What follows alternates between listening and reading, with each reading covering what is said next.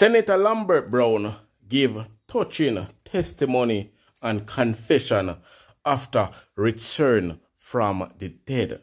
Bless up to my viewers and my subscribers them. I hope everybody having a blessed and a wonderful evening. Now my viewers and my subscribers, remember, in everything you do, always put God first. In every uh, any situation, just always remember to call upon God. Always remember to pray because a prayer day keep the devil away. Now, my viewers and my subscribers, Senator Lambert Brown give a touching testimony after returning from the dead. The man gave a confession. The man explained to you. The man make you know say you never did have to see him. Which part him there right now because of what he have been through, because of the road that he went down, my people.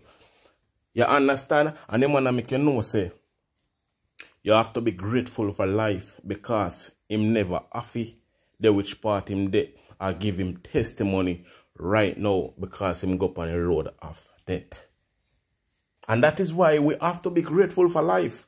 We definitely have to be grateful for life, and that is why we have to continue to thank God for life itself. You understand me? I say because some of we now remember to thank God for life, and He is the kings of all kings.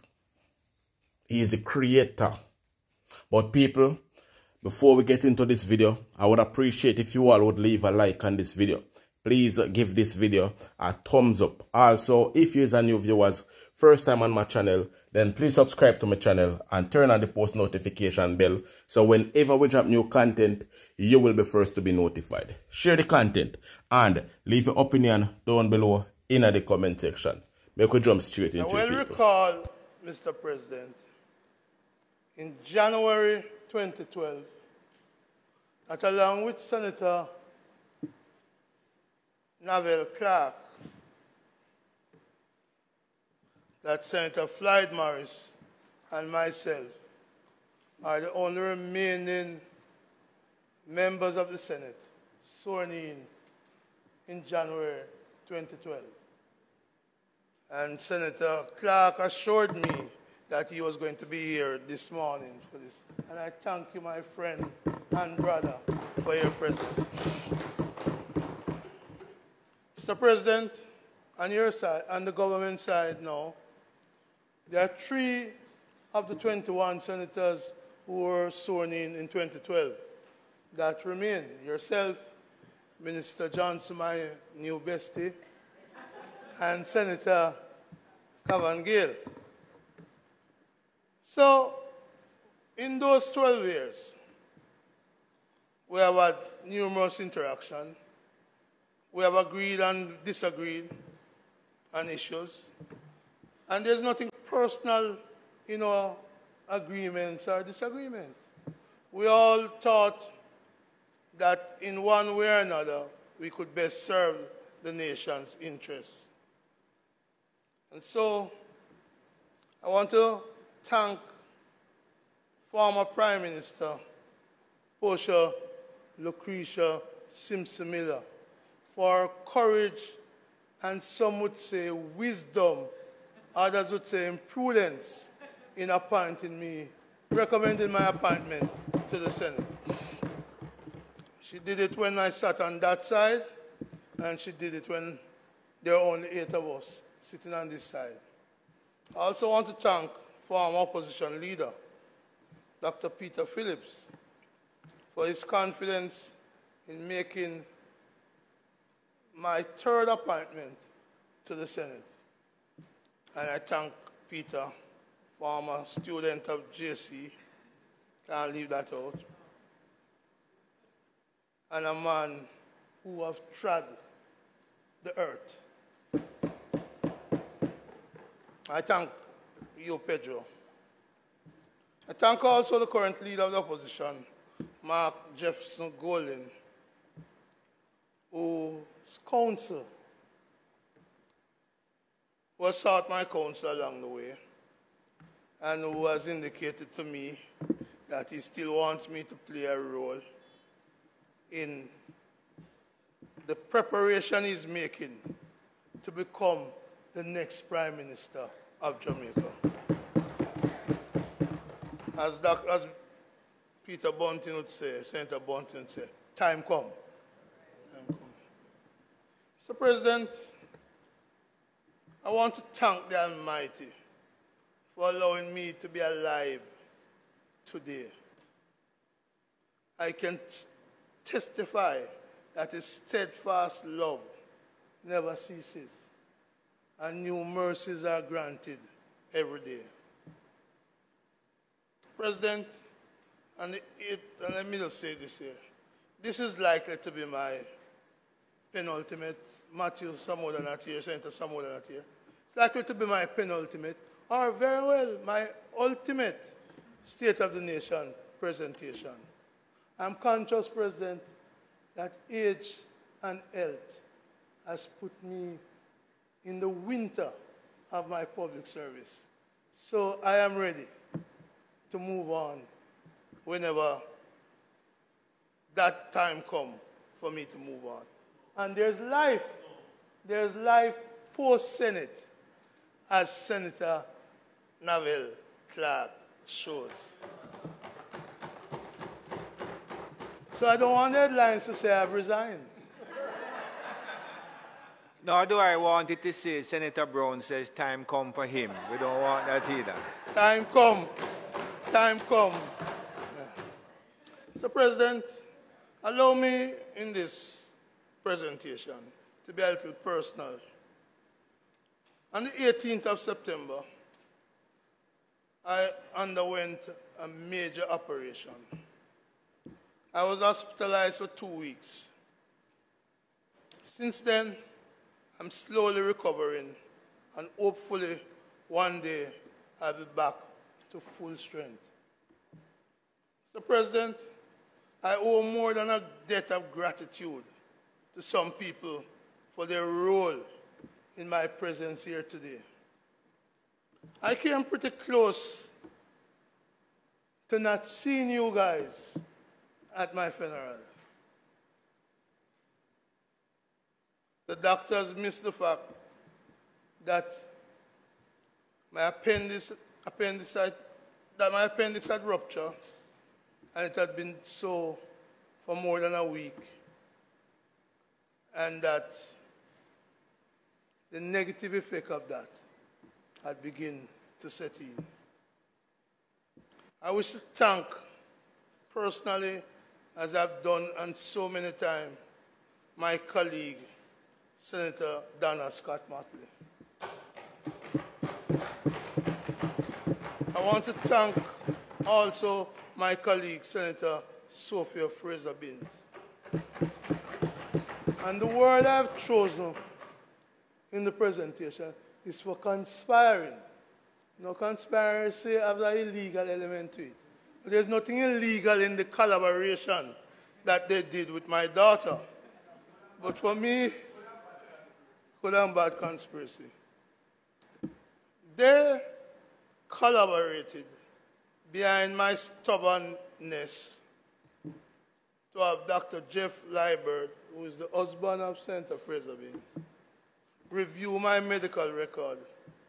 After I was told I needed to be admitted to the hospital, but there was no bed available. Not because I didn't have money to pay for a bed. There's no bed available in the private hospitals. And the only place that would take me was the University of the West Indies. They took me in the Tuesday, and they discharged Tuesday late, about 1, 1 a.m., and they discharged me by 6 a.m. the Wednesday morning. I thought I was fine. I went home, struggling, but home and happy. But on the 18th, on the 17th of September, the Sunday, it's a PNP conference. I was at home. I got a call that I thought was coming from Senator Frazer Binns, because it was her phone number that called.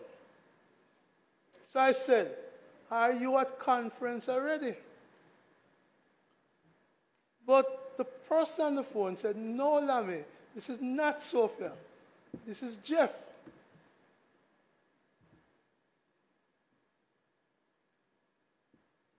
That's her husband. He said, Lammy, I've looked at your record following the conspiracy between them, and you should not be at home. You need to be in the hospital now. He added that he had made arrangements for a bed for me, and I should go immediately to the hospital. I am alive today, thanks to him and his intervention.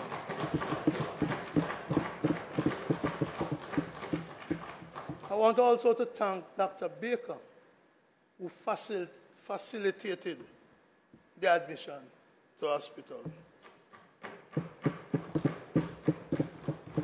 And there's a man who I looked up after he cut me deep and asked him, Why are you in Jamaica? Give me your skills, give me all of that.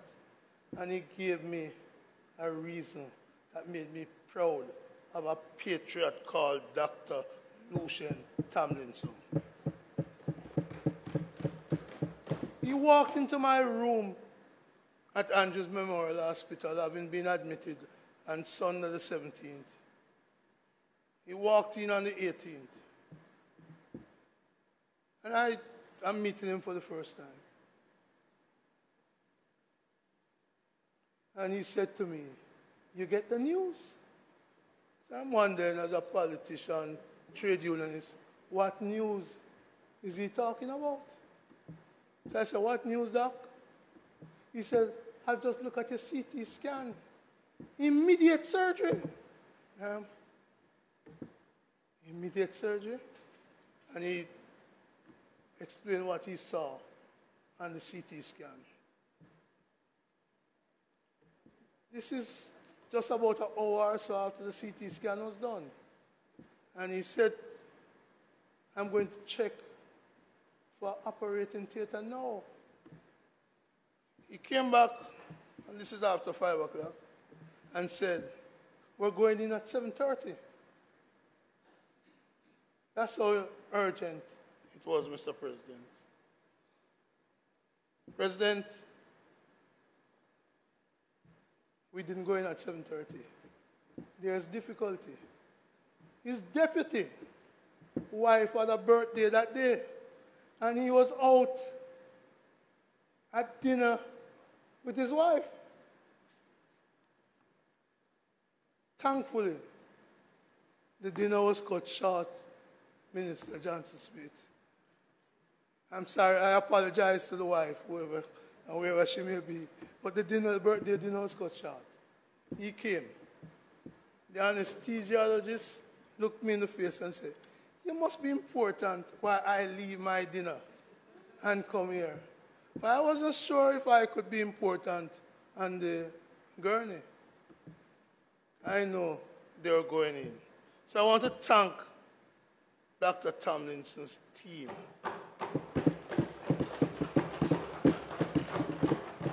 President, allow me also to thank the management and staff at the hotel now, the Andrews Memorial Hospital. I want to thank the nurses, the nurses who treated me, the nurses who did some personal things that I couldn't do for myself. I want to thank the technical team, CT scan, ultrasound, x-ray. I want to thank the ancillary staff. And more importantly, Senator Gayle, I want to thank the porters, not only for pushing me in the wheelchair when I couldn't move, but I remember one day, President, that I needed to move from a chair to the bed, and I couldn't do it. So they sent for two strong porters, one on the left, one on the right. And they say after three, one, two, three, And they lift. but they had no me. I could not assist them. That was how weak I was. So I want to thank my physiotherapist, who often, as you know, Minister, and my colleagues on this side, I don't refer to her as a physiotherapist. I refer to her as a physiotherrorist. Dr. Savian Francis for the tremendous work in restoring strength to muscles that had gone.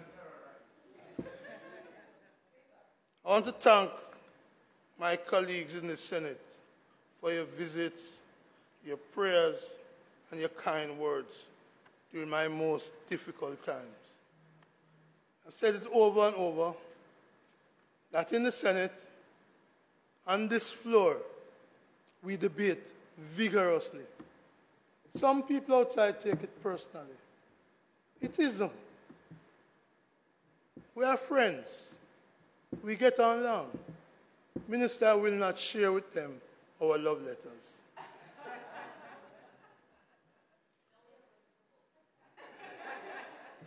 but suffice it to say, all on that side extended kind words, and some visited. One of them who visited will, will know how much of an impact he had by the opening testimony I made when I said, The steadfast love of the Lord never ceases. Because that was part of the prayer. I want to thank my family and friends because they were there for me at every moment of my illness.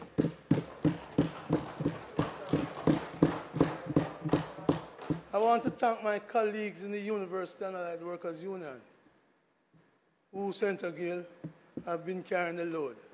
I train them well, so they allow me to get extended sick leave that is needed. And I thank all of my colleagues at the UAW and in the trade union movement generally. Mr. President, I want to end this part by saying I got my flowers while I could still smell them.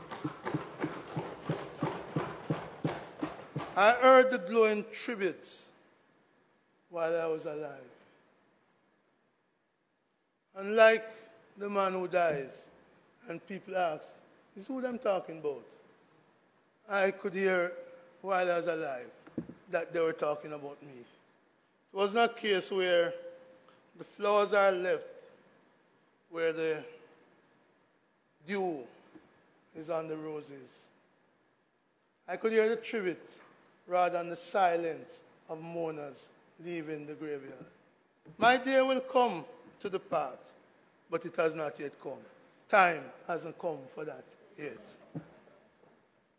Mr. President, I've indicated to those who have visited me that I have become a strong advocate for ending the policy of turning patients away from hospitals because there's no bed. I'm not blaming government on one side or another. The reality is all of us have left our people short not because resources aren't available, but our vision did not take into account the fact that every man and woman in this country who pays taxes and their family shouldn't be turned away. I want to, President, indicate that during my own illness, I had to reach out to a colleague on the other side because a niece of mine was at Savlamar Hospital for three days on the tough bench because there's no bed available. I reached out to a colleague on that side who assisted in getting attention to her. I recall recently our great football icon, Alan Skillcole. The report said Allan was rushed to the university hospital, but there's no bed. Minister Grange intervened. But that state of the nation that leave our people bedless when they're sick is not the best direction for our country. It needs to be changed. And I will be an advocate for that change. Mr. President, in October 2022, I spoke in the State of the Nation debate. Then I described the State of the Nation as one of fear and trepidation. A recent poll conducted by Don Anderson indicated that nearly 60% of our citizens are living in fear. Imagine the drain that that fear and JLP, PNP, NOP, just ordinary citizens, the drain that that fear has emotionally, financially, health-wise, and every otherwise. We have to fix that. It is not a state of the nation that we can be proud of. This is not a good state of the nation. And this is worse, the fear and trepidation is worse because I recall the promise of the current prime minister when he was opposition leader. Then he said, you want us to go to bed, sleep with our windows and doors open, and still wake up alive in the morning. In other words, crime and the murder rate would go down if you voted for his party. He said then, a lot, a lot can be done to cut the murder rates. Those are nice promises. People believed him then. But what is the reality? Mr. President, the murder figures since I've been a member of the Senate tells a story where my best years in the Senate relative to murder figures was between 2012 and 2015. The numbers were way lower than any murder numbers since 2016. That's the reality.